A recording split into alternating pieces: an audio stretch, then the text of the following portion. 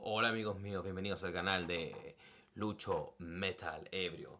El día de hoy voy a reaccionar a Falling in Reverse, donde está Ronnie, el vocalista, ex vocalista de Escape the Fate. Un grupo al cual también me gustó mucho, que en su tiempo, cuando era un poco más joven, lo escuché. Es un grupo que a algunos les gusta, a otros no, algunos dicen que no, que no es tanto metal, otros te dicen que sí, que, que todavía están ahí con el metal, con eso. Amigos, siempre he dicho, si no te gusta, no lo escuches. Porque al final no tiene sentido. A mí no me gusta el reggaetón y por ende no lo escucho. Pero si me gustara, lo escucharía. Porque te gusta. ¿Entiendes? Es como un concepto así.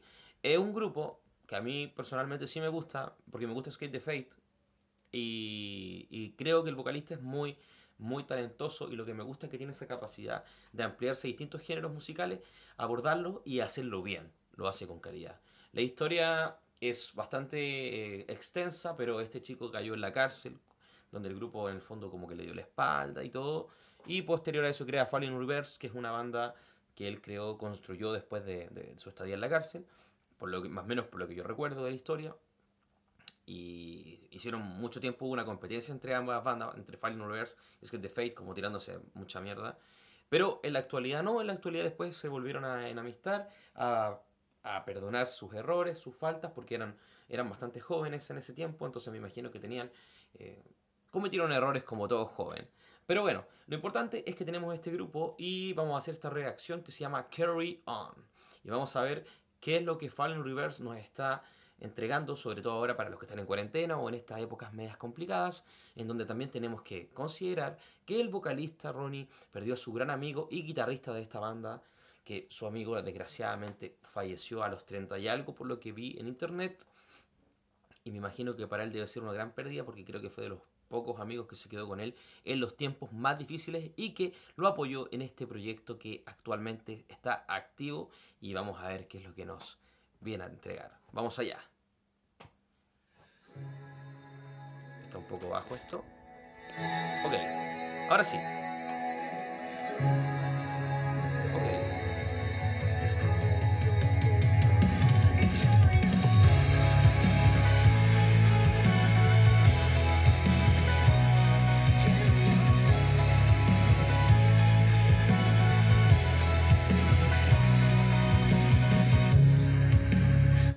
A repetir esa parte.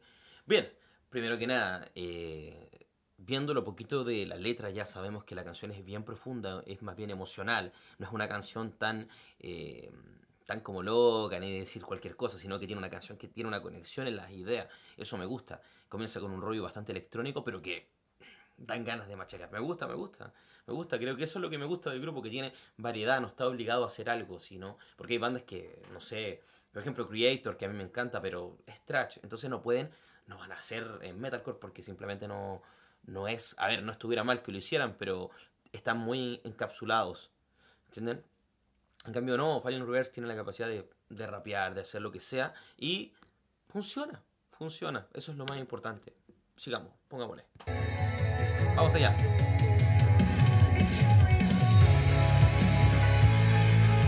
Y continuarás.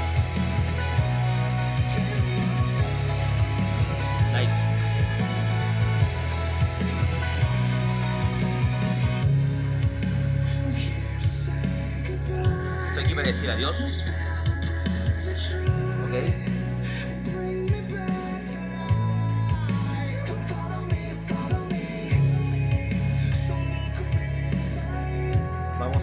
Una cosa, vamos a repetir porque no se están viendo bien las letras. Voy a ver si puedo dejar esto aquí para que no moleste tanto. Yo entiendo lo que dice abajo porque está en inglés, pero está en inglés claro.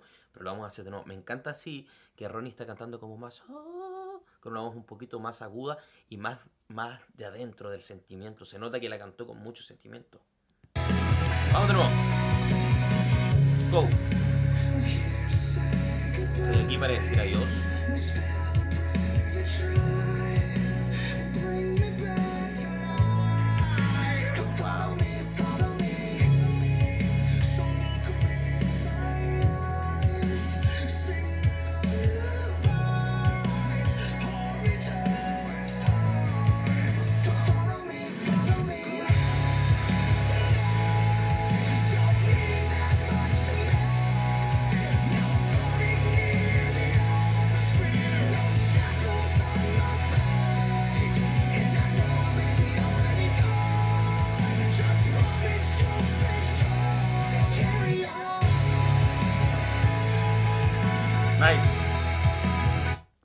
Esa parte. Es, es una letra muy profunda, eh, mantenerte fuerte a pesar de todo, sigamos adelante y eso de, de lo que te habla un poco de recordar las cosas, de lo que de los tiempos pasados, de lo que fue, de lo que no volverá, de la actualidad, de todo. Está muy bonita la canción, es muy, muy emotivo lo que te dice.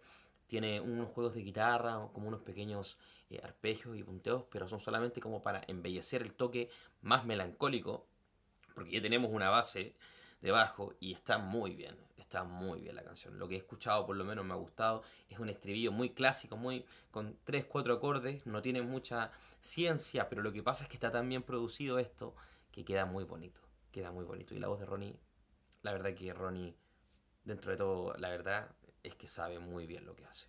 Se no, y se nota, ojo, se nota.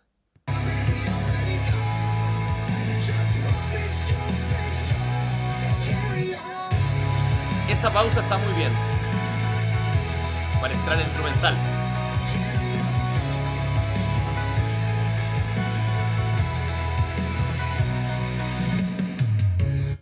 Volvemos a la segunda estrofa, que por lo que vemos va por los mismos tiros que el inicio y siempre con esa emoción y ese sentimentalismo. A mí me gusta mucho eso.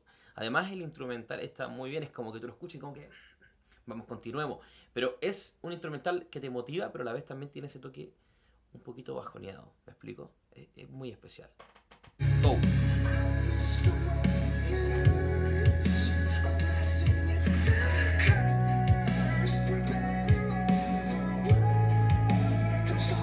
No me sigas. Todos hemos aprendido así.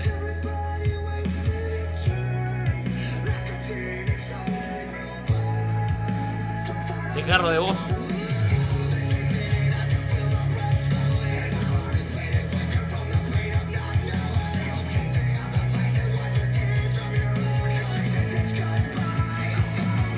interesante es ese es que claro primero va con una voz muy muy tranqui pero desgarrando un poco la garganta y después con un poquito de scream voz natural scream voz natural pero no exagerado y eso es muy rollo eh, metalcore y todo a mí me encanta eso me encanta cómo, cómo eh, se van acoplando y se van eh, uniendo las ideas. Denme un segundo, voy a hacer una pequeña pausa y vuelvo. Una pequeña pausa que no se darán ni cuenta. He vuelto de forma mágica. Seguimos entonces, como le dije, tiene un, poco de screen, un poco de voz natural, que es muy, muy, muy cañero. Me gusta mucho, me recuerda ahí en esa época de Script Fate cuando él realmente ocupaba mucho scream porque era un post-hardcore y todo el tema. Así que sigamos.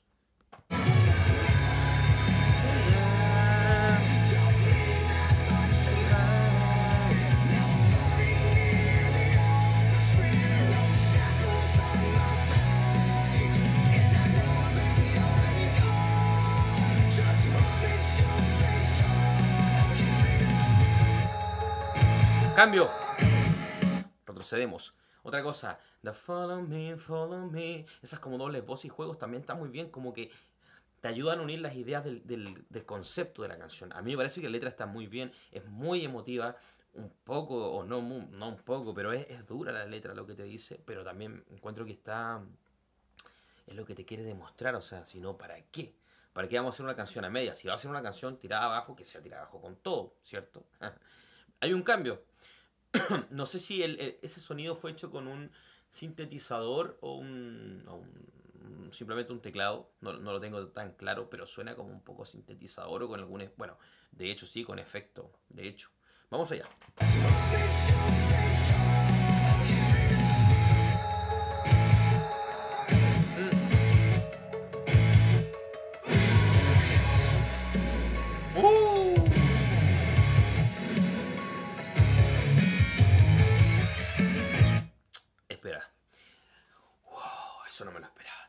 Tiene sintetizador seguramente, porque el tin, tin, tin, o un teclado con mucha distorsión, con efecto. También escuchamos por ahí un pequeño como un pequeño bajo. Bajo, que quizás no es un bajo, quizás un efecto a través de DJ, pero es como un pequeño bajo, que, que le da como una intensidad como lo que haría una batería en el fondo, pero con mayor intensidad que le da como que te deja wow, hay un cambio. Y la guitarra, antes de comenzar, comenzar a hacer lo mismo que hacía el sintetizador o, teclado, que es el antes de hacer esa parte, hace un pequeño armónico. Es un armónico, es como cuando tocas las cuerdas, pero sin sin rozarlas demasiado, sino que es un pequeño toque. Y queda, queda muy bien, no lo esperaba, vamos. Muy inteligente esa parte.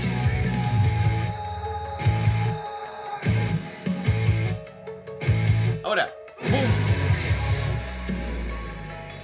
¡Wow! Armónico, guitarra.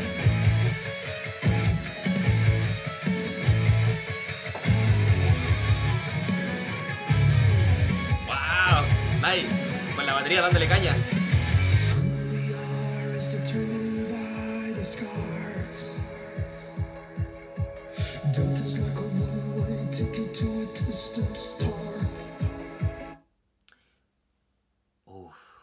Star, como más tristeza. Es que está, está cantando muy del corazón.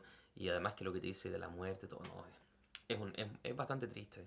Y quizás, claro, por algo la hizo la canción. No sabemos si la canción fue hecha antes o después o en la actualidad, porque tiene un, rollo a, a un álbum donde justamente sale un, un astronauta, no me acuerdo del, del nombre, joder, mi memoria, pero bueno, la cosa es que tiene, tiene ese rollo, tiene ese rollo, tiene ese jodido rollo.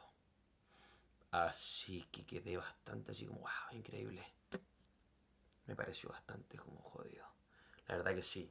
Es que está, está como linda la canción, pero también eh, me imagino lo que está sintiendo él por la pérdida de su, de su gran amigo y, y de la banda, guitarrista. Y era joven, tenía 30 y algo.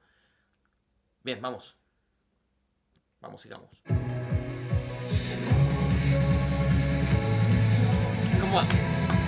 Para el en vivo, en directo.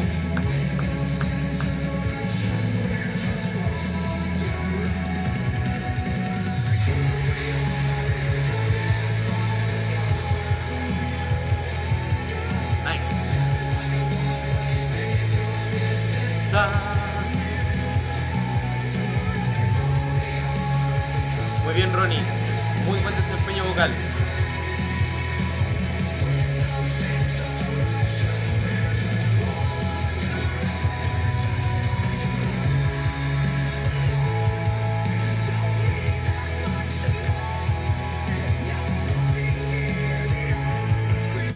Importante, quiero decirlo y, y decirlo de verdad. Considero que tiene muchísimo, tiene muchísimo trabajo su voz. Desde el principio me acuerdo, de hecho olvidé mencionarlo, disculpen, estaba muy distraído. Eh, al comienzo de la canción tiene eh, una subida de voz muy alta y luego bajada.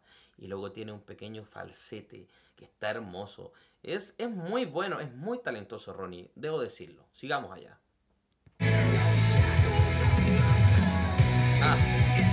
Juego batería. Ese juego de tiempos.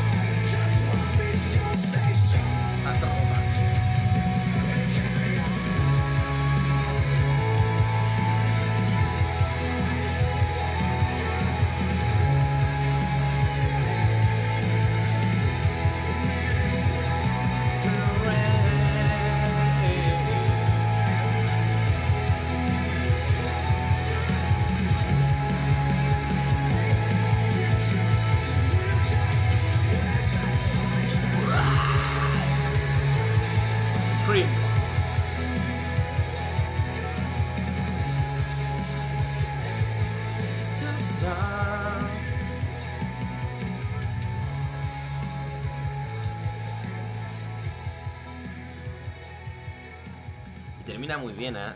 Termina muy bien. Lo que pasa es que termina muy bien porque sigue sonando la melodía, pero ya como apagándose el fuego. Me encantó la canción. Primero que nada, la producción es altísima. Es una producción muy buena. Porque está todo muy bien. Está todo muy bien colocado. Tiene un sonido maravilloso. Ronnie vocalmente aquí se destaca mucho al final cuando... Carry on. Cuando sube el tono, llega a un tono bastante agudo. Que de hecho lo veo bastante difícil en vivo. Porque llega a un tono muy agudo. Lo bueno es que para que no suene chillón, porque a veces cuando uno ca- canta más agudo, carry on, puede sonar un poquito chillón, entonces meten un poquito el coro por debajo y se une, por eso que no se siente tanto el agudo, porque claro, porque eh, de una forma también de que la voz no, no gastarla tampoco ni forzarla demasiado, ¿cierto? Eso está muy bien. Eh, después, eh, hace un, hace un scream que, tampoco se escucha al 100 porque como que el, el coro tapa un poco. Me hubiera gustado que se escuchara un poquito más eso, porque los, los screens de Ronnie son muy buenos. Muy buenos. Al principio de la canción, que vamos a revolver a un poquito porque me gusta analizarla bien. Escuchen. Ya, eso está muy bien. Escuchen.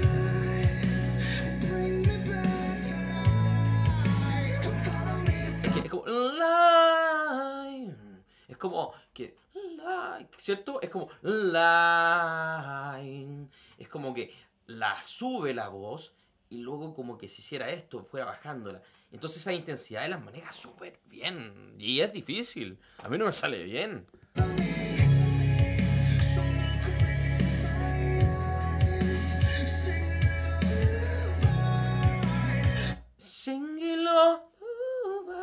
Es como muy. Es difícil.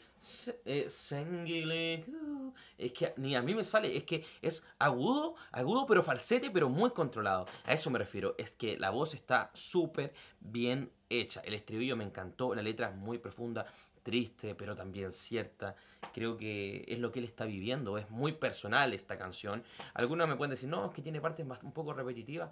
Puede ser, pero es que está bien. La melodía es preciosa, la letra es hermosa, la unión de las ideas está perfecta. Es una producción altísimo nivel que se le invirtió bastante. Lo que es guitarras y batería, la batería trabaja un poco más porque tiene más cambios de ritmo y juego. La guitarra no tiene mucho trabajo aquí, un par de detalles, algunos juegos, pero la verdad que en conjunto, en conjunto con la parte in- instrumental y eléctrica que está por debajo, la canción queda muy bella, muy bien hecha y un trabajo que, como siempre dicen, Ronnie lo hizo otra vez, Ronnie supo hacerlo nuevamente y lo hizo perfecto, tiene esos cambios que tiene, esos juegos con armónico, en la parte donde hay un poquito más breakdown, esos juegos con bajo y todo, creo que queda una canción muy bella y que a mí, personalmente, a mí me encantó. Así que eso es mi comentario, chicos. Nos vemos.